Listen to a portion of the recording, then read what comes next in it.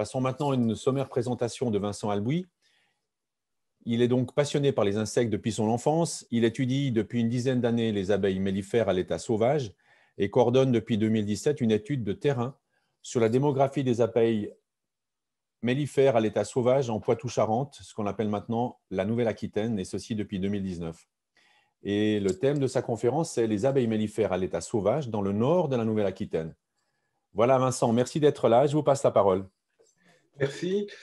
Donc, ben, je vais commencer par un bref résumé de mon parcours pour que vous sachiez d'où je parle. J'interviens non pas comme apiculteur, mais comme entomologiste, et non pas comme professionnel, mais comme amateur. Donc l'étude dont je vais vous parler, c'est une étude associative et pas prise en charge par une structure scientifique, et c'est une étude conduite par des bénévoles. Voilà. Donc euh, moi, personnellement, je bénéficie d'une formation d'entomologiste au début des années 80 à la Fac des sciences de Paris sous la direction de Claude Cossanel. Et pour des raisons de choix de vie, je n'ai pas mené à son terme ces études. Par contre, ce qui devait être ma thèse est devenu un livre, La faune de France des dermaptères, paru en 90 et co-signé avec Cossanel. Comme Cossanel est devenu en 1987 directeur du laboratoire d'entomologie au Muséum d'histoire naturelle de Paris, j'ai collaboré avec lui dans cette institution en tant qu'attaché, c'est-à-dire de spécialiste qui met bénévolement ses compétences au service du muséum, jusqu'en 1999 date de son décès. J'ai abandonné la systématique des dermaptères pour m'intéresser depuis les années 1990 à la protection de la nature ordinaire, en particulier des insectes, notamment dans les jardins. Euh, depuis 25 ans, j'ai écrit plusieurs ouvrages sur ce sujet. D'ailleurs, c'est mon métier depuis une vingtaine d'années d'écrire des ouvrages de vulgarisation sur la nature en général Voilà. Donc, ma rencontre avec l'abeille mellifère a été tardive. Euh, en fait, quand j'ai déménagé en province, j'ai acheté deux ruches euh, en 1988, puisque j'avais une maison avec un grand terrain dans un petit village près de La Rochelle et c'est l'époque aussi de l'arrivée du varroa dans la région. Donc, je n'ai pas voulu traiter mes ruches, et elles sont mortes en 1990. Donc, c'est là que s'arrête euh, mon expérience d'apiculteur, et vous avez devant les yeux une de ces deux ruches quelques années plus tard. Donc, en 1992, euh, je possède un bois qui est contigu à ma maison, que je mettais en réserve intégrale. Il y avait une petite vigne enclavée dans ce bois que j'ai acheté, et en 1992, j'ai placé ces deux ruches vides dans cette parcelle de vigne pour euh, faire fuir les chiens des chasseurs qui venaient un peu trop souvent à mon goût. Et euh, la vigne était destinée à se reboiser spontanément, je les ai oubliés. En 1999, en décembre 1999, on a eu un ouragan dans la région qui a causé énormément de dégâts. Et en février 1990, j'ai fait le tour de ce bois dans lequel je ne pénétrais jamais pour voir les dégâts euh, et qu'est-ce qui était tombé. Et je suis retombé sur ces deux ruches et à ma grande surprise, elles étaient occupées. Donc, euh, au printemps, j'ai fait une inspection et je me suis rendu compte que je les avais posées vides, c'est-à-dire il y avait les cadres, mais sans cire dedans, rien du tout. Elles étaient totalement bâties et notamment avec des rayons très noirs, ce qui montrait une, occupation de plusieurs années. Donc, réflexion personnelle à la suite de, cette observation. Je m'occupe de mes ruches, elles meurent, je m'en occupe pas, elles vivent. Voilà, premier, premier euh, avancé vers les, les abeilles mellifères à l'état sauvage. Deuxième, deuxième réflexion, c'est en 2007, je découvre dans une décharge à côté de chez moi un bidon métallique de 200 litres complètement enfoncé et dedans, il y a une colonie d'abeilles. Donc évidemment, ça m'interpelle parce que ce n'est pas exactement le, milieu de vie le plus favorable pour elle. Hein. Ça ressemble absolument pas, notamment au niveau thermique, à un arbre creux. Euh, et donc, euh, ben, réflexion, si les abeilles sont obligées de se loger en bidonville, c'est qu'elles manquent de, lieux de, vie, en quelque de, de milieux pour se loger naturel. Donc, euh, on a commencé à réfléchir au sein de l'OPI Poitou-Charentes, hein, l'Office pour les insectes et leur environnement de Poitou-Charentes, dont je suis un membre depuis longtemps. Et on a décidé de construire et de tester des nichoirs à abeilles mellifères en partant du principe où il n'y avait plus assez d'arbres creux. Donc il fallait faire des arbres creux artificiels comme le font les, euh, passionnés d'oiseaux quand ils mettent des nichoirs à mésanges. Et ben donc on allait mettre des arbres creux artificiels pour les abeilles. Euh, maintenant, la question, alors on les a testés, ça marche relativement bien, on en verra un tout à l'heure, mais la question était à quel, quels seraient les meilleurs endroits pour placer ces nichoirs? Donc, comme j'avais une formation scientifique, j'ai commencé une bibliographie en recherchant euh, bah, tout ce qu'on pouvait connaître sur euh, les milieux de vie de l'abeille mellifère sauvage euh, en France. Et je me suis aperçu qu'il n'y a quasiment rien sur le sujet pour la France et même plus généralement pour l'Europe dans les revues scientifiques en français ou en anglais depuis le XVIIIe siècle. Hein. Les seuls travaux importants concernent les USA et l'Australie, notamment les USA autour de Thomas Sillet dont a parlé Fabrice tout à l'heure. Donc deux zones, par contre, USA-Australie, où les abeilles mellifères sont introduites et même envahissantes dans certains cas. Donc ce n'est pas exactement les mêmes conditions que chez nous. Le dépouillement des revues apicoles m'a permis de trouver les résultats d'une enquête lancée en 1978 par le docteur Kantner, qui était vétérinaire agricole, sur l'état sanitaire des colonies d'abeilles mellifères à l'état sauvage en France. Au final, c'est notre seule source d'information approfondie sur le sujet il ne parle pas de la démographie, par contre, il parle des, types de, cavités occupées. Et donc, euh, c'est pour cette raison qu'on a décidé, la délégation Poitou-Charentes de l'OPI a décidé en 2016 de lancer une étude pour pallier à ce manque de données. En gros, on s'est dit, ben, puisqu'il n'existe pas de renseignements, allons les chercher nous-mêmes. Donc voilà de quoi parlons-nous. Hein, des abeilles mellifères à l'état sauvage, c'est-à-dire qui choisissent seul l'endroit où installer leur nid et qui ne sont ni aidées, traitement nourrissage, ni exploitées, prélèvement de miel, directement par l'homme. Alors elles peuvent être indirectement exploitées ou aidées. Par exemple, il y a des gens qui piègent ou qui essayent de piéger le frelon asiatique devant des colonies à l'état sauvage, où il y a des récupérations d'essaims pardon, issus de, ces colonies à l'état sauvage, et c'est une exploitation indirecte. Donc ça veut dire qu'on ne parle pas d'abeilles noires, euh, etc. Euh, ce n'est pas la problématique. La problématique, c'est euh, est-ce que les abeilles ont choisi euh, toutes seules l'endroit où elles vivent et qu'on ne les embête pas. Ce qui veut dire qu'on peut avoir dans nos suivis des bugfast quasiment purs qui se sont échappés d'une ruche, mais qui se sont logés toutes seules dans un arbre ou dans un trou de mur, et que par contre, un essaim d'abeilles très noires qui est sorti d'un arbre, s'il a été récupéré par un apiculteur ou même mis par nous dans un nichoir, ce n'est pas euh, une, colonie à l'état sauvage, puisqu'il y a eu intervention de l'homme. Par contre, quand on laisse un nichoir euh, librement comme, euh, comme piège à essaim en quelque sorte, et qu'on ne le déplace pas, là, on a bien des abeilles mellifères à l'état sauvage. Donc, pour cette étude, on s'est basé sur la littérature existante australienne, donc l'étude de Kantner, des études australiennes américaines, et parmi les études américaines, la plus importante, on l'a vu tout à l'heure, c'est euh, l'étude Silet, donc, euh, où dans les années 70, il a étudié la, euh, en fait, la démographie des, abeilles à l'état sauvage dans cette fameuse forêt d'Arnott et autour, enfin plus généralement dans le nord-est des États-Unis. Cette étude se divise en fait en deux grandes parties. Une première partie qui est plutôt inventaire, c'est-à-dire on fait l'inventaire des lieux de vie des abeilles à l'état sauvage, en caractérisant le plus finement possible euh, les cavités, les hauteurs, euh, les dimensions d'entrée, euh, les expositions, etc.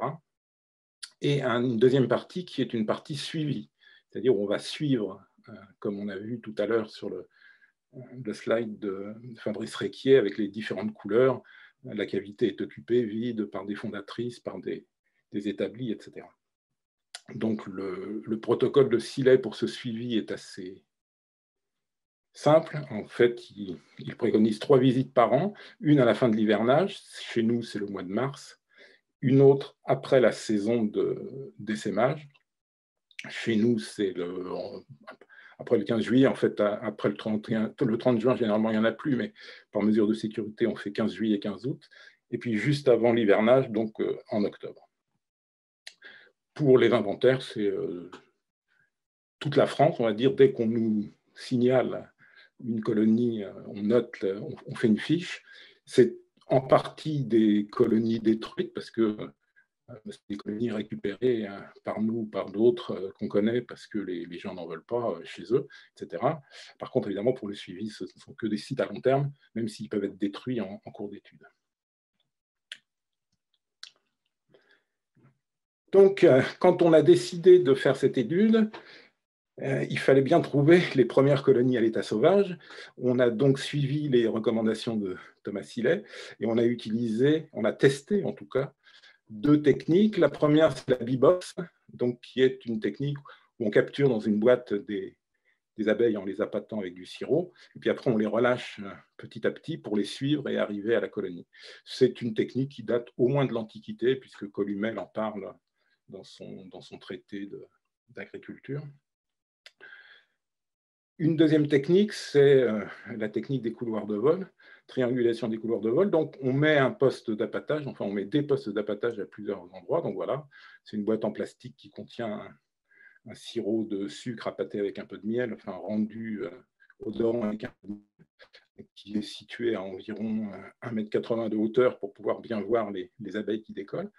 Et en repérant les couloirs de vol et en les mettant sur une carte, la technique permet d'arriver au nid. Donc là, vous avez en rouge PAPB, donc le, poste d'appâtage A et le poste d'appâtage B.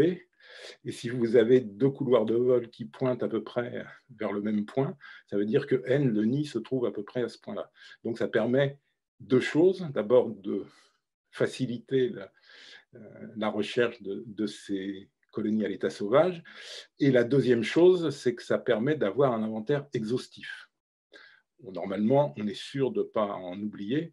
C'est comme ça que Thomas Sivet a fait ses, cartes euh, de la forêt d'Arnott. C'est aussi comme ça que Cole et Rutschmann ont fait la carte dans, dans la forêt de, de hêtres des Alpes Souabes, d'Arniche plutôt. Le problème chez nous, c'est qu'on a des ruches partout. La Charente-Maritime, plus de 17 000 ruches euh, étaient déclarées à l'époque de nos tests, et euh, on en a y compris dans les bois. Donc, grosso modo, euh, ça marche très bien, trop bien, parce qu'on trouve les ruches et les ruchers dans les bois. Donc, ce n'est pas possible d'utiliser cette méthode pour avoir un inventaire exhaustif. Donc, on, ne peut pas avoir un inventaire exhaustif d'une zone quelconque.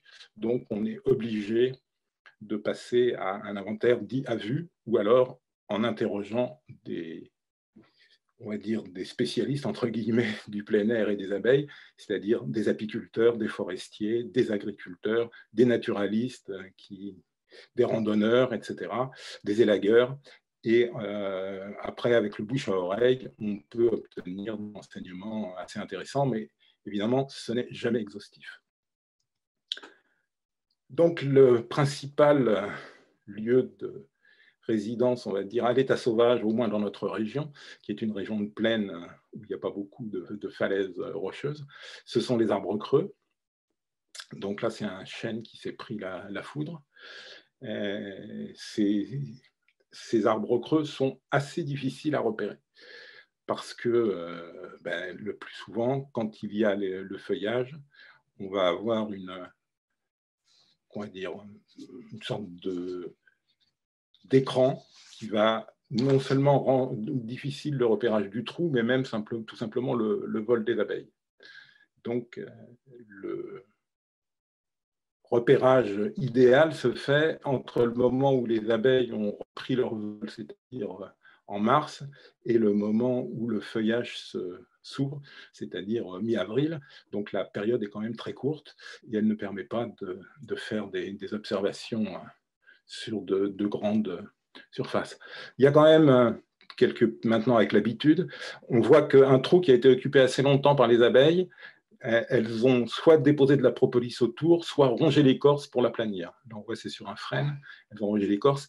Donc on peut se permettre, euh, pendant les balades hivernales, de repérer des trous potentiellement intéressants parce qu'on verrait des traces autour d'utilisation par les abeilles. mais voilà, ça reste très, très léger. Un des types d'arbres les plus intéressants, ce sont les arbres dits têtards. On est dans une région, nous, de grande euh, agriculture, mais autrefois, il y avait beaucoup d'élevage, il y avait beaucoup de haies, et donc les haies étaient souvent euh, euh, gérées en têtards pour avoir du bois de feu sans avoir besoin d'abattre les arbres. Euh, donc, euh, ces arbres sont sujets à des cavités accélérées, comme l'a dit Laurent Larieux. Donc, c'est intéressant. Donc, euh, on privilégie, notamment quand on fait des inventaires à vue comme ça, on privilégie les, arbres têtards pour, bien les, observer. Par contre, il y a un problème qui va se poser dans les dizaines d'années à venir, c'est que, grosso modo, la, conduite en tétard s'est interrompue depuis une cinquantaine d'années, on va dire, même avant. Et donc, on a essentiellement des vieux arbres têtards, beaucoup sont dépérissants. Donc, cette ressource, à terme, euh, n'est pas renouvelable. En tout cas, il y aura un hiatus, parce que même si maintenant l'agroforesterie relance un peu l'utilisation des arbres en tétard, il y aura un gros hiatus d'une cinquantaine d'années pendant laquelle on n'en aura pas créé. Un autre problème du, d'essayer d'avoir des, inventaires complets. Euh, même les inventaires à vue, si on voulait les faire sur une petite surface, on a on avait commencé, mais le, confinement nous l'a interrompu, une tentative d'inventaire de, toutes les cavités sur environ 600 hectares de, de bocage dans la Vienne. Inventaire des cavités, puis après on les aurait suivis pour voir s'il y avait des abeilles ou pas. Euh, donc même ce, système-là n'est pas, pas possible. On a même euh, dans nos projets l'utilisation de caméras thermiques de manière à pouvoir repérer les trous qui émettent de la chaleur. Donc ça peut être en hiver, ça peut être des abeilles ou des oiseaux, des mammifères, mais en tout cas, on peut noter ces, trous intéressants et après les, observer en mars pour voir si c'est des abeilles qui sortent. Donc même ça, ça ne permettrait pas d'avoir un inventaire exhaustif parce qu'on a vraiment des trous très vicieux. Donc là, vous voyez, c'est un arbre tétard, un frêne tétard en, en, bordure de champ. La flèche indique exactement où est le trou. Et voilà, le trou, un, il est très petit. Deuxièmement, la manière dont il est orienté, il n'est absolument pas visible du sol donc c'est très très difficile de le repérer. Il nous a été signalé par un agriculteur qui utilise un très gros tracteur pour euh, labourer le champ d'à côté et qui lui, du haut de son tracteur, donc euh, a pu les voir et, nous les signaler. voilà la difficulté euh, très, très importante pour nous d'avoir des inventaires exhaustifs. Donc on est obligé de, de, se contenter d'inventaires partiels. Il y a toujours un biais, sans parler du biais de de la hauteur, parce qu'évidemment, plus les colonies sont, sont à hauteur, plus c'est difficile. On a le cas de colonies à 13 mètres, voire 15 mètres de hauteur dans, dans des platanes, mais qui sont découvertes quand le platane est abattu euh, en bord de route. On a eu le cas il y a, il y a 2-3 ans d'une telle colonie. Ce qui est intéressant, c'est qu'on euh, nous signale des colonies en forêt. Là, vous avez un arbre, un chêne de 80 ans qui a été abattu euh, en forêt de. C'était une exploitation normale, hein, une parcelle qui, qui était euh, exploitée euh, par des bûcherons. Et on voit qu'il y a toujours des abeilles en forêt à Chizé. dans la carte qu'a passé tout à l'heure Fabrice Requier, il y avait un carré noir sur la forêt de Chizé, ce qui voulait dire que aucun observateur n'avait vu des abeilles mellifères à l'état sauvage dans la forêt de Chizé. En fait, il y en a, il y en a pas forcément beaucoup, mais en tout cas, il y en a régulièrement. Donc, ça, montre bien que probablement dans l'ensemble des forêts françaises, à partir du moment où il y a des arbres suffisamment âgés pour être creux, on doit avoir des abeilles mellifères à l'état sauvage. Dans notre région de très vieux monuments, hein, la Charente-Maritime, la Saintonge, la majorité des églises, par exemple, sont romanes, donc XIIe siècle. On avait des méthodes de construction qui favorisaient des cavités dans les vieux murs, ce qui fait qu'on a énormément de colonies dans le bâti, et notamment dans les murs des monuments anciens. Là, vous avez une colonie qui est dans le mur du château du Douai, un château qui date du XVIIe siècle, donc euh, très facilement repérable. C'est une photo prise en août, hein, quand il fait chaud. Là, vous avez une autre colonie dans le château de Chalais, euh, en Charente. Euh, la flèche le pointe, alors elle est assez haute, donc là les, les jumelles sont obligatoires hein, pour faire ce genre d'inventaire parce que c'est souvent assez haut. Et euh, si je zoome, la photo est mauvaise parce que j'ai un petit appareil photo, mais si je zoome, on, on se rend compte que la, autour du trou, on, a du marron qui est en fait de la propolis, et on peut, avec un peu d'habitude, repérer ces cavités qui ont été occupées par des abeilles ou qui le sont encore. Euh, mais même on peut, les repérer, même en hiver, quand il n'y a pas d'activité, à ces traces de propolis, ce qui permet ensuite de rationaliser les surveillances, parce qu'on va directement au trou intéressant pour voir s'il y a du trafic ou pas. Ce bâti ancien euh, est surprenant parce qu'on peut avoir des densités énormes. Donc là, vous avez euh, le plan de l'abbaye de l'Aréo à Saint-Martin-de-Lard, donc une abbaye qui date euh, du Moyen Âge avec des bâtiments qui s'étagent jusqu'au XVIIIe siècle. Donc en fait, à droite, vous avez l'église. Toutes les parties en pointillé, c'est des parties rubinées qui, qui sont juste à, l'état de fondation. Tout ce qui est en noir, c'est tout ce qui est encore en élévation. Mais par exemple, l'église n'a plus de toit, alors que la partie bâtiment conventuel, elle a toujours un toit et est utilisée. Donc euh, ce sont des, très vieux murs et assez souvent très épais. Et là, vous voyez A, B, C, D, E, F, G, A jusqu'à N. Euh, donc vous avez 13, 14 sites de nidification. En fait, on en a repéré 16 euh, euh, sites de nidification potentiels, dont 13 euh, qui, ont été occupés au moins une partie de l'année 2020, puisqu'il y a des colonies qu'on a vues en juin qui étaient mortes en septembre, par contre des trous qui étaient vides en, juin qui avaient été occupés par un essaim en septembre. donc, vous voyez une densité énorme euh, c'est un des hotspots qu'on va suivre avec intérêt dans, les années à venir, mais qui montre que dans notre région,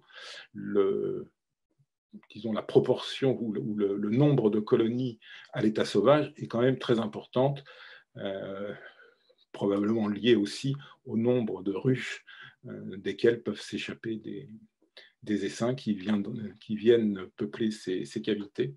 Mais voilà, des abeilles à l'état sauvage, on n'en manque pas en Poitou-Charentes. Après, le problème, c'est de savoir si ces colonies sont viables ou pas. Donc, euh, un des, à part les murs qui représentent une grosse proportion de, nos colonies dans les bâtiments, on a un exemple classique qui est les abeilles entre volets et fenêtres, qui est assez mauvais pour le suivi parce que euh, si on peut les observer facilement au travers de la vitre, donc ce seraient les, colonies les plus, les plus intéressantes pour nous, puisqu'on pourrait avoir un accès à l'intérieur de la colonie sans avoir besoin de troubler la colonie. Malheureusement, quand on nous les signale, c'est pour les expulser, ce n'est pas pour les conserver, hein, puisque c'est très souvent des résidences secondaires. Donc les gens arrivent en juin ou en juillet et hop, on a un coup de fil SOS Abeilles. Et on a quand même deux, trois cas comme ça dans, la Vienne, où ce sont des maisons inhabitées et où les propriétaires laissent tranquilles les abeilles. Donc ça permet de faire des observations assez sympas. On a aussi le dessous des toits. Alors ça atterrit souvent soit dans les comptes, soit dans les faux plafonds, soit éventuellement dans des cavités de murs. Euh, donc là, on voit le ciment est parti euh, dessous une tuile et euh, c'est la zone d'accès des, abeilles sous, le toit. On a aussi les cheminées. Alors les cheminées, c'est l'un des sites les plus, qui semble les plus intéressants pour les abeilles, puisque les témoignages qu'on a de plein de personnes nous disent Ah, mais moi, ça fait 10 ans, 20 ans, 25 ans que ma cheminée est occupée. Euh, donc, évidemment, pas par la même colonie, mais en tout cas, le, pour les cheminées inutilisées, c'est ça, peut être des durées d'occupation très longues. Donc ça, c'est un effet positif, entre guillemets, du chauffage électrique qui est très largement répandu en France. Hein. Les cheminées ne servent plus, donc euh, elles sont récupérables par les abeilles. Par contre, l'inconvénient pour nous, quand on fait des suivis, c'est que c'est beaucoup plus difficile. Elles peuvent, d'abord, c'est assez haut. Ensuite, elles peuvent sortir par tous les côtés. Euh, donc, on, a du mal à bien apprécier le, si elles rentrent du pollen ou pas, etc., pour, pour savoir si la colonie est vivante. Donc euh, là, c'est un zoom sur la cheminée que je vous ai montré. C'est pris au mois d'août, donc à un moment donné où on a une grosse activité et un grand nombre d'abeilles, et notamment où on peut avoir des barbes pour faire de la ventilation. Et là, on voit sur la fente du bas une mini accumulation, alors je ne sais pas si c'est une barbe ou une accumulation de, gardiennes, mais on voit que la, colonie est bien occupée. Ce n'est pas du pillage, c'est du, c'est une occupation. Donc les cheminées, euh, un, endroit très intéressant. Donc là, c'est une cheminée qui a été démontée euh, par un, on la suivait depuis deux ans quand il y a eu des travaux sur la toiture, donc le propriétaire a démonté la cheminée. Et on voit les rayons très noirs qui montrent bien qu'il y a eu une occupation très ancienne. Et en même temps, elle avait été réoccupée quelques semaines auparavant par un essaim. Et il reste euh, quelques euh, rayons euh, blancs qui venaient juste d'être construits. les autres ont été démontés pour être mis dans des cadres. L'essaim a été transféré dans des ruches. Donc voilà, on voit bien que dans les cheminées, c'est un, un endroit très, très apprécié des abeilles, ce qui d'ailleurs me fait dire, on parle toujours, il faut des, des ruches des machins comme ça. Enfin, le rond, c'est mieux parce que les, angles posent problème. Euh, moi, mes observations personnelles dans ma région me font dire que les angles ne gênent pas les abeilles. Par contre, vous voyez qu'elles ont propolisé l'intérieur du conduit. Donc, elles ont isolé finalement leur, euh, leur habitacle là d'une d'une protection antibactérienne et aussi, euh, d'ailleurs dans, les arbres c'est un peu pareil, comme elles mettent de la propolis, le, bois n'absorbe plus l'humidité puisque la propolis est étanche, donc il doit aussi y avoir de la condensation qui peut-être d'ailleurs peut leur être favorable quand elles ont besoin d'eau pour diluer leur miel qui est un peu cristallisé. Donc ça c'était des réflexions personnelles. Donc autre euh, zone, enfin autre lieu artificiels mais intéressants pour les abeilles, ce sont les nichoirs, notamment les nichoirs à chouettes, les nichoirs à oiseaux, en particulier les nichoirs à chouettes qui ont un volume différent. On en connaît trois qu'on suit depuis plusieurs années, donc on sait qu'il n'y a aucun problème de survie euh, hivernale dans ce type de nichoir, aussi bien vertical comme celui-là que horizontaux. Hein. Il y en a des qui sont horizontaux. le, corps du nichoir est horizontal.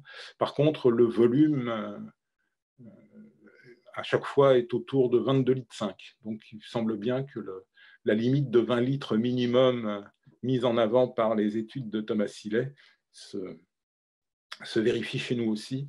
Il y, a, vraiment, là, on doit être dans le, minimum du volume nécessaire pour, pour ces abeilles. C'est une photo aussi prise en été, en période de forte chaleur, de canicule. Donc on voit la, la grosse grappe d'abeilles qui est sortie euh, pour ventiler. Et puis, on a des nichoirs, on vous ai parlé tout à l'heure de nos premières expériences de nichoirs à mellifères à l'Opipotou-Charentes. Voilà, ça, c'est un de ces nichoirs. À l'époque, euh, il venait juste d'être posé. Maintenant, il a, ça fait, ça, la photo a été prise en 2014, au moment où on l'a posé. Et euh, six ans plus tard, il, est toujours là. Il était encore occupé euh, à l'automne par, par des abeilles. Donc, en gros, c'est une ruche, une ruche varée à deux corps qu'on qu'on a rendu euh, euh, totalement fermé, c'est-à-dire le seul moyen d'ouvrir ce, nichoir, c'est de déboulonner le fond. Donc ça ne peut être fait qu'entre deux occupations. Euh, mais de toute façon, ceux qu'on met dans la nature pour le, suivi des colonies, on ne les ouvre pas, on ne touche pas, on, laisse faire. Voilà. Donc ce sont ces types de, principaux, on va dire, d'occupation par les abeilles mellifères à l'état sauvage. Après, il y a toute une série de, lieux euh, totalement... À partir du moment où il y a un certain volume vide, les abeilles peuvent l'occuper quand elles manquent d'autres sites alternatifs.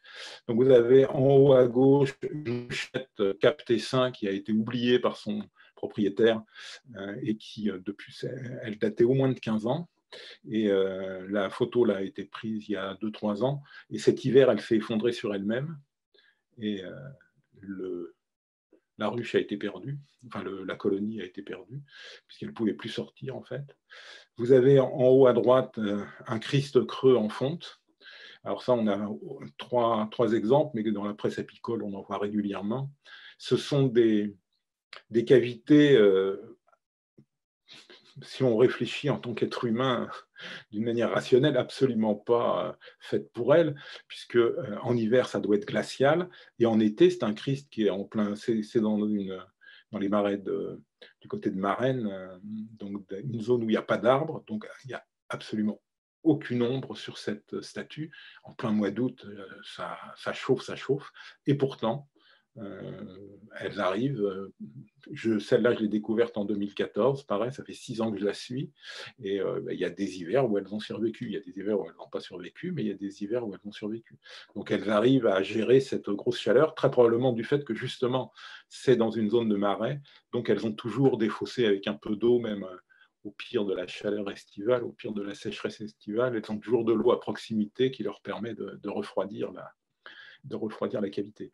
On a en bas à gauche euh, les poteaux creux EDF hein, en, béton, qui sont, alors le, les, abeilles sont assez hautes, là, 6-7 hein, mètres, hein, je pense. Euh, vous voyez qu'il y a un gros transformateur. Celle-là, je la suis aussi depuis 2014. Donc, il y a, elle passe assez souvent l'hiver. Mais euh, bon, on doit être à la troisième colonie quand même depuis 2014. alors, ce qui me fait dire aussi que les, tout ce qui va être ondes électromagnétiques ne les dérange pas forcément parce que ah, c'est un, petit transformateur, un transformateur moyenne tension qui doit envoyer des ondes très fortes puisqu'elles sont très proches et ça les, manifestement ça ne les dérange pas. Et donc, euh, après, tous les objets creux euh, oubliés un peu dans un endroit peuvent être occupés. Et là, une barrique bordelaise de 120 litres euh, occupée par aussi un essaim très dynamique. Donc, ça, c'est la partie inventaire. Donc, ah oui, j'ai aussi deux autres cas. Donc là, c'est dans des niches, on a des, colonies à moitié à l'air libre, on va dire, c'est-à-dire elles sont dans une niche mais largement ouverte. On voit qu'elles se protègent par des rayons euh, qui servent de bouclier, qui ne sont pas utilisés pour l'élevage, mais qui servent de bouclier et euh, qui leur permet de survivre. Hein. C'est une niche maintenant, elle a été bouchée après des travaux de ravalement, mais dans lequel j'ai suivi pendant trois ans une colonie. Donc, euh, j'en connais plusieurs comme ça, de, niches, avec parfois des, conflits de logement avec des pigeons, par exemple, des pigeons domestiques. Mais bon, c'est assez souvent occupé. Et puis, on a de temps en temps des signalements de colonies à l'air libre, euh, dans les arbres, dans les buissons, éventuellement sous des corniches de bâtiments.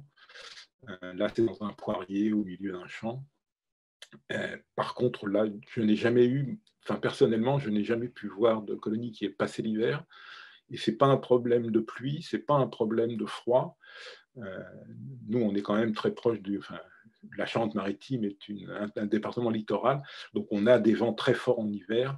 C'est très souvent le vent qui casse les rayons qui, empêche la, nidification à l'air libre. Voilà. Donc ça, c'était la partie inventaire qui concerne d'ailleurs toute la France. Je vous ai montré des photos que de la Charente-Maritime, enfin de, la zone qu'on suit. Mais en tout cas, on, a des, données, plusieurs centaines maintenant de fiches qui concernent toute la France, mais essentiellement euh, le nord de la Nouvelle-Aquitaine. Après, donc, il y a le suivi. Donc, le suivi, c'est, euh, ça concerne qu'une petite partie, enfin, qu'une partie de ces, colonies. Donc, vous avez sur cette carte des sociaux milieu là, de Nord-Aquitaine. En rouge, tout ce qui est euh, viticulture. Donc, vous avez le cognac et le bordelais, le Bordeaux. En jaune, tout ce qui est grande culture. Donc, grande culture, c'est principalement céréaliculture plus oléagineux, c'est-à-dire euh, colza, tournesol.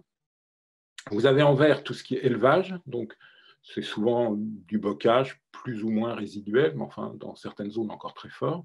Et vous avez en marron de, là où c'est les dominantes de bois.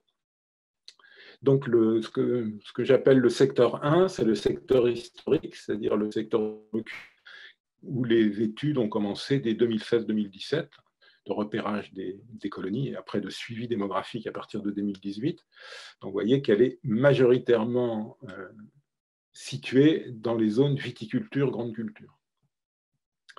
Ensuite, vous avez, donc ça c'est l'OPI Poitou-Charentes qui a lancé cette opération et qui, euh, qui gère ce, secteur-là. Après, vous avez le secteur 2 qui est centré sur le nord de la Vienne, mais qui déborde sur le nord de la Charente et sur l'ouest de la Haute-Vienne. Donc le secteur 2, c'est euh, d'autres passionnés d'insectes qui nous ont rejoints, enfin d'abeilles plutôt qui nous ont rejoints, autour de une association qui s'appelle les Veilleurs d'abeilles, une association d'apiculteurs euh, amateurs. Euh, et euh, c'est Jean-Claude Poupard qui anime ce secteur numéro 2. Donc, nous, dans le secteur 1, on a suivi pour 2018-2019 109 sites et Maintenant, on en suit depuis 2020 une 100 piles, tout rond, 100. Dans le secteur 2, euh, depuis 2020, ils ont commencé, ils se sont rapprochés à l'étude en 2020, euh, ils en suivent 126 donc euh, une quantité non négligeable. donc ça déborde un peu, vous voyez, sur du jaune, donc de la grande culture, mais la grande majorité des, colonies sont situées dans la partie est de la zone, donc dans la, zone, on va dire, plutôt élevage, bocage, euh, euh, là, le bocage est encore présent sensiblement. Il y a beaucoup de haies, beaucoup d'arbres creux, très intéressant. Le, nombre de colonies en arbres creux est nettement supérieur dans cette zone que, dans la mienne. Et puis vous avez un secteur 3. Alors, dans le secteur 2, la particularité aussi, c'est que c'est une opération de science citoyenne, c'est-à-dire comme il y a beaucoup de bénévoles, euh, pour le secteur 1, c'est moi qui chapeaute tout et qui fait quasiment toutes les observations, même si je peux utiliser des aides ponctuellement. Dans le secteur 2, il y a plusieurs zones euh, qui ont chacun un responsable et il y a une grosse, un gros effort, de, notamment d'inventaire, qui est fait auprès de la population locale. Et euh, les veilleurs d'abeilles, donc cette association locale, fait coordonné avec une structure d'éducation à l'environnement qui s'appelle le CPIE de l'ATU, euh, donc Centre permanent d'initiation à l'environnement, euh, pour l'animation en quelque sorte du réseau et de l'opération de sciences citoyennes. Et ce CPIE de l'ATU a mis à la disposition de l'étude une personne à, mi-temps pour l'animation du réseau. Donc c'est une expérience particulière de, donc, de sciences citoyennes autour des abeilles. Et puis le secteur 3, c'est encore une autre configuration. Alors il y a moins de, euh, moins de sites suivis, il y en a 25. Par contre, c'est autour de, deux personnes, Adam Wright et Karine Massen, qui ont, qui ont développé euh, une, activité de construction de, ruches euh, très proches de la nature, des rucherons, des ruchetrons, des choses comme ça, et qui, ont plutôt une activité d'apiculture naturelle. Donc, une partie de ces, de ces ruches, en fait, ne sont pas gérées, donc deviennent en quelque sorte des nichoirs à, abeilles. Et donc, euh, sur les 25 sites qui sont suivis dans, ce secteur, il y en a à peu près un peu plus de la moitié, 13, ce sont des ruches comme ça, non gérées. Et le reste, ce sont des, colonies dans des, dans des, etc. Et cette, euh, ce secteur, par contre, est très étendu, donc on voit il est aussi étendu que le secteur 2, par contre, le nombre de, colonies est, moins important. Donc voilà ces trois secteurs qui vont nous, alors, euh, nous permettre, qui nous permettent de progresser. En gros, en 2018-2019, dans le secteur 1, on s'est aperçu que le protocole que nous suivions, adopté, euh, copié de Thomas Sillet, ne correspondait pas, enfin, n'était pas suffisamment strict pour euh, suivre la démographie. Euh, d'après Thomas Sillet, enfin d'après Thomas Sillet, euh, en 78, quand il a fait publier ses, études, la mortalité printanière de ces colonies était négligeable. Ça veut dire qu'une colonie qui était vivante en mars, si on la retrouvait vivante en juillet, c'est que c'était la même. Nous, on s'est aperçu que si on faisait un suivi fin pour les colonies, par exemple à côté de chez moi, que je pouvais suivre toutes les semaines, en fait, il y avait des colonies qui étaient vivantes en mars, qui mouraient euh, fin avril, euh, et puis, voire même début mai, et puis euh, courant juin, c'était réoccupé par un autre essaim. Donc, en juillet, ce n'était pas la même colonie, et pourtant, elle passait, d'après le protocole filet, comme une colonie ayant survécu. Donc, ça, ça biaisait les chiffres, et ça les biaisait dans le sens où ça augmentait le taux de survie des, des, colonies. Donc, on a décidé en 2020, quand les deux autres groupes nous ont rejoints, de faire un protocole beaucoup plus, enfin, beaucoup plus, un protocole plus strict, où on devait visiter tous les mois euh, les colonies qui avaient survécu au mois de mars. Donc comme ça, on pouvait voir plus finement. Alors il y avait encore des trous dans la raquette, mais ils étaient moins, moins grands. Le problème, c'est que euh, le 17 mars 2020, début de, c'est-à-dire 15 jours après le début des, des, observations, on a eu le confinement sur le dos qui a duré jusqu'au début mai, donc qui a empêcher l'application de ce protocole. Donc ça a fortement perturbé nos études, euh, ce qui nous a obligés à revenir au protocole filet de, euh, du début.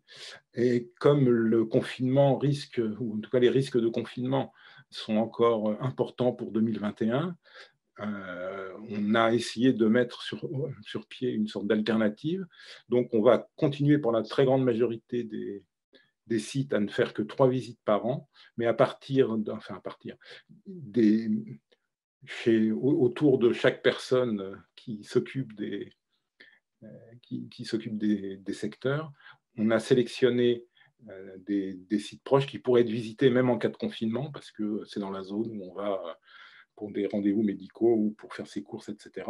Et là, on a décidé de les visiter toutes les semaines pour savoir, un, effectivement, les, mortalités printanières euh, jusqu'où elles s'étendaient. Et même les sites vides seront visités parce qu'on a aussi un autre problème, c'est celui de, définir la période d'essaimage.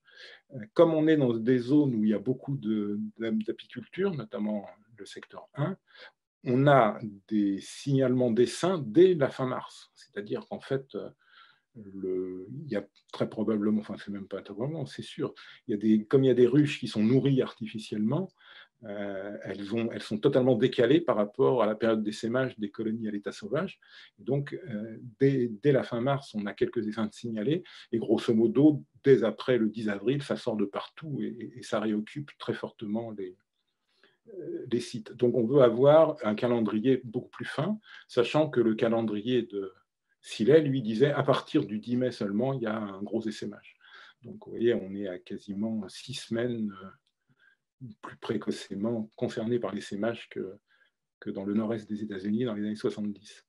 Et donc, ces, ces, deux données, à la fois une vision plus fine de la mortalité printanière et une vision plus fine du calendrier des sémages, nous permettront, de, avec des redressements de statistiques, de, de pouvoir mieux appréhender la démographie de l'ensemble des sites suivis. Donc, L'expérience 2018-2019 sur le secteur 1 nous a permis d'avoir quelques chiffres. Euh, donc euh, voilà, vous avez sur le tableau 1 l'évolution de l'occupation des sites suivis. Donc il y avait 71 sites en décembre 2017, dont 64 occupés. En mars 2018, on était passé à 76, on a eu 5 sites qui nous ont été signalés pendant l'hiver. Donc vous voyez que les sites occupés de 64 à en décembre 2017 était tombé à 28. Euh, et encore, euh, il faut rajouter, parce que les, cinq qui nous ont été signalés étaient des, sites occupés à, l'automne. Donc on, peut considérer que ça tombe de, 69 à 28.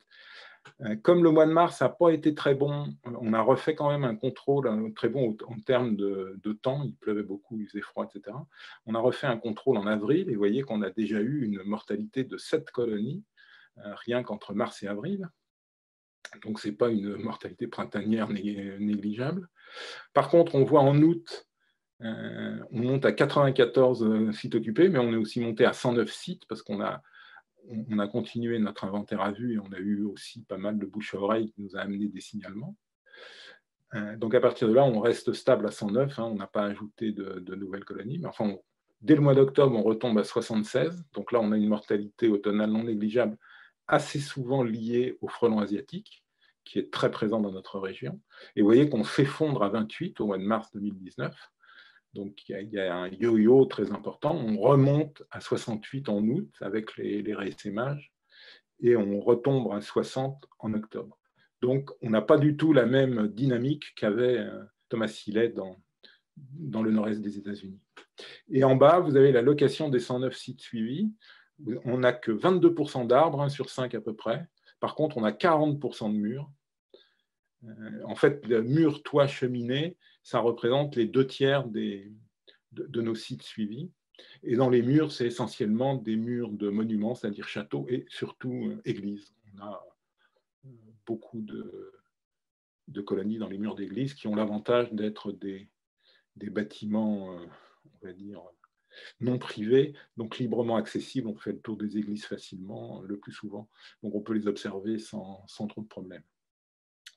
Voilà, donc euh, toit, cheminée. On a cinq nichoirs, hein, comme celui que vous avez vu en photo. Euh, on a trois colonies, on avait trois colonies dans des poteaux, euh, comme vous aviez vu aussi en photo, trois dans les statues, statues de bronze, et puis deux ruches non gérées, hein, c'est-à-dire le, une ruche en et puis la petite ruchette aussi, vous avez vu, qui, s'est effondrée euh, cette année. Donc, l'étude Silet définit trois, trois statuts des colonies, soit indéterminées, c'est-à-dire une colonie qu'on découvre et dont on ne connaît pas l'histoire, donc elle est indéterminée. Une colonie fondatrice, c'est une colonie dont on est sûr qu'elle a occupé le site euh, l'année de l'observation donc un essaimage de l'année, et les établis, c'est-à-dire une colonie qui a passé au moins un hiver. Donc en décembre 2017, vous voyez, on avait 46 indéterminés, c'est-à-dire c'est grosso modo celles qu'on avait découvertes dans l'année euh, en suivant le, en, découvrant de nouveaux sites de nidification. Les fondatrices, c'est celles qui avaient occupé un site qu'on connaissait déjà et qui était vide pendant l'hiver. Et les établis, c'est des colonies qui avaient passé l'hiver précédent, qu'on connaissait depuis 2016, 2015, voire 2014 pour certains autres.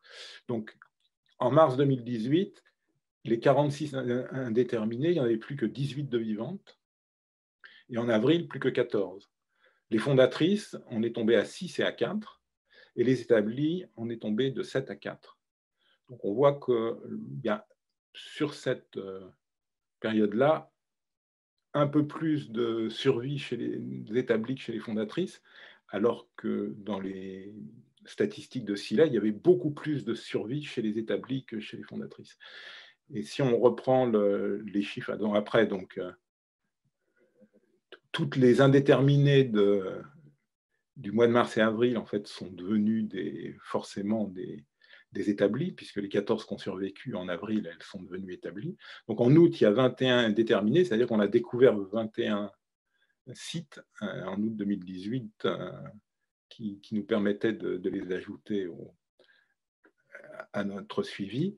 On a eu 40 fondatrices, donc euh, ça veut dire que comme on repartait de zéro à partir d'avril, on a eu 45 qui se sont mis dans des sites vides, dans des sites vides. Et puis bon, ben, les fondatrices et les indéterminées survivantes sont devenues des établis. On avait donc 33 établis. En octobre, on voit que les indéterminés sont tombés de 21 à 17, les fondatrices de 40 à 33, donc à peu près la même proportion qui disparaît, et les établis de 33 à 26, donc aussi euh, la même proportion, voire même un peu plus.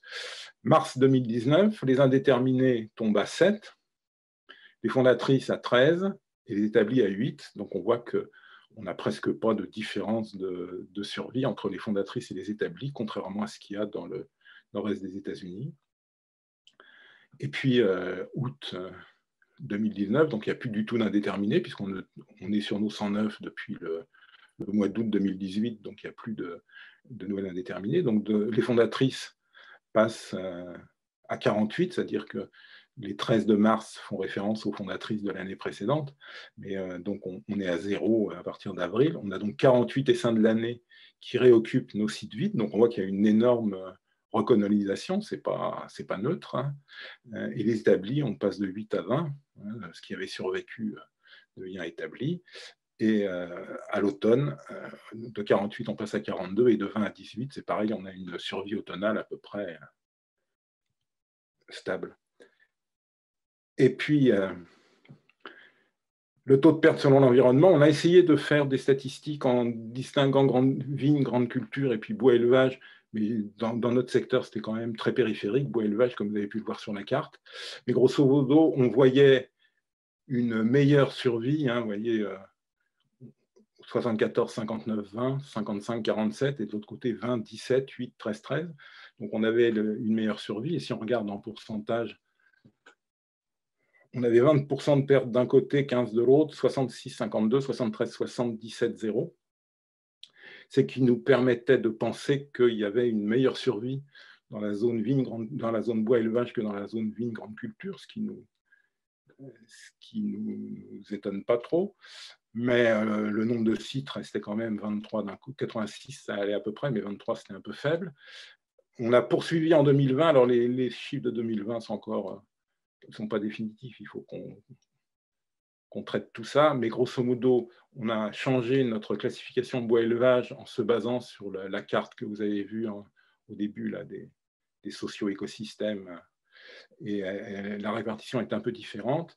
Et en se basant sur cette nouvelle répartition, on n'a pas vraiment de, survie significativement différente. Par contre, les chiffres qu'on a du secteur 2, qui est vraiment central en bois élevage, là, on aurait des taux significativement plus élevés de, de survie. Donc, si on doit faire un petit bilan,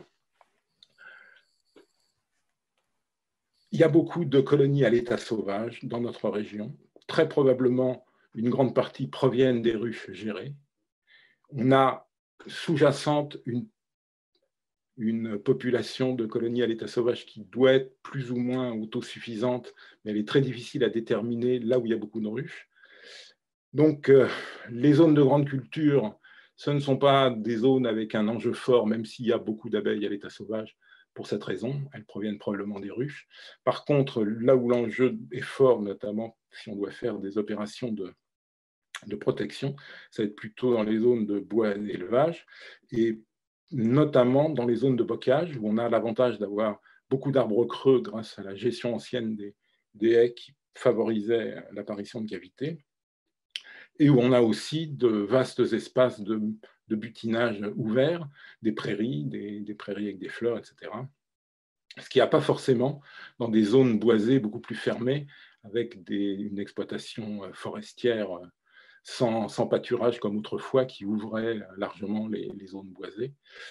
Euh, maintenant, tout ça, ce sont des, comment on va dire, des hypothèses de travail. On va voir si ça se vérifie euh, en, continuant notre, notre étude hein, qui doit se poursuivre jusqu'en 2024, voire 2025. Et c'est plein de questions très intéressantes qui, sont, euh, qui se posent à nous et euh, l'aventure continue malgré les problèmes sanitaires qui nous compliquent beaucoup la vie. Mais euh, voilà, on espère grâce à ça connaître un peu plus, un peu mieux les abeilles de notre région et pouvoir plus efficacement les, les protéger. Super. Merci Vincent. C'est frustrant de vous couper la parole presque, mais je crois que vous êtes arrivé au bout et c'est super intéressant. J'avais le réveil, donc je savais que. Extra. On suivra bien sûr avec intérêt la suite et la poursuite de vos études dans les différents secteurs. Et euh, effectivement, c'est super intéressant de pouvoir euh, communiquer tout cela. Les... Là aussi, on voit les différents commentaires qui ont été faits. Ah, mais super. Les différents commentaires qui ont fait et sont, sont très intéressés et on vous transmettra toutes ces questions. On vous laissera un peu de temps pour y répondre. Merci beaucoup, Vincent. Merci à vous. Au revoir. Au revoir.